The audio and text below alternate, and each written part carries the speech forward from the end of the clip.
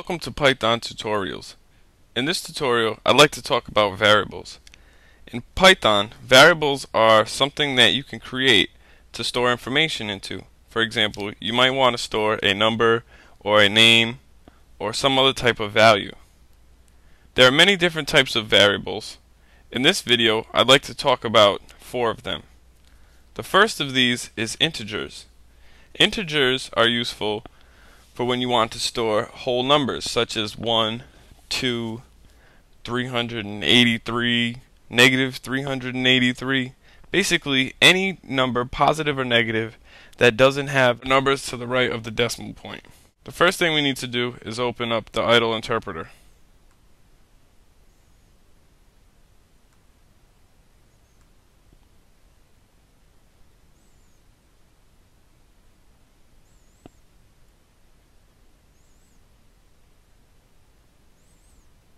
In order to create a variable in Python, you need to come up with a name.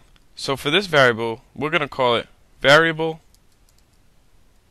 or var, short for variable, underscore integer. Now, to give this variable a value, we have to set it equal to a value. This value is referred to as a literal. We're going to store the number 76 to integer by setting var integer equal to 76, then pressing enter. Now var underscore integer has the value of 76. So if we type in that variable name, Python should return to us the value stored in there, which is 76. Another type of variable is called a float. A float includes numbers that have digits to the right of the zero. For example, 725. I'm sorry. For example, 7.25. So let's create a double variable.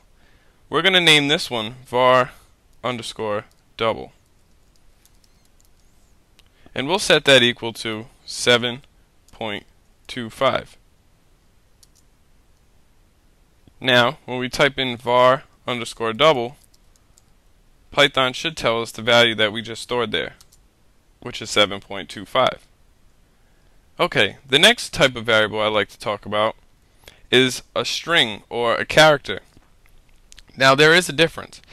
A character is when you want to represent just one letter, number, or symbol that you see on your keyboard in a variable. So let's start with that. We'll do var underscore char, which is short for character. And we'll set that equal to the pound symbol.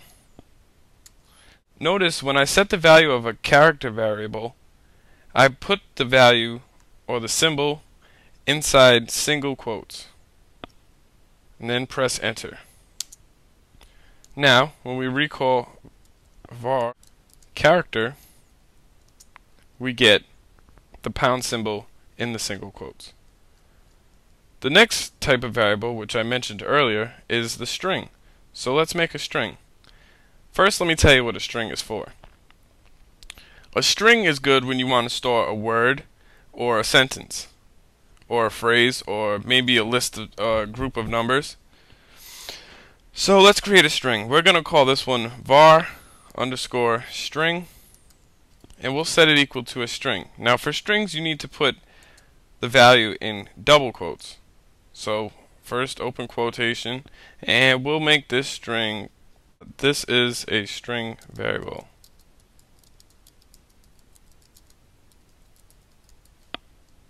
End quotes.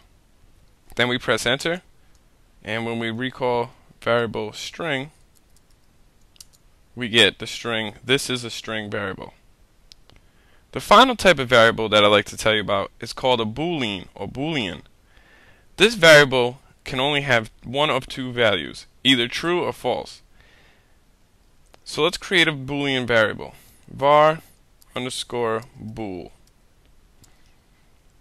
Now remember, you can name your variables whatever you like as long as they're not keywords, which if you watch the second video on print, you'll know that keywords turn orange or they turn a different color in the Python uh, idle interpreter.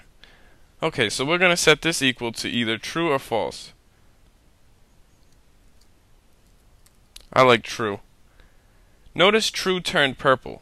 If I had used a lowercase t, it wouldn't have turned purple and it wouldn't have represented the value true. So you need to put an uppercase T for true or an uppercase F for false. Now we'll press enter and when we recall var bool we get the value true. Okay, this has been the tutorial on variables. Thank you for watching. Please comment, rate, and subscribe, and have a nice day.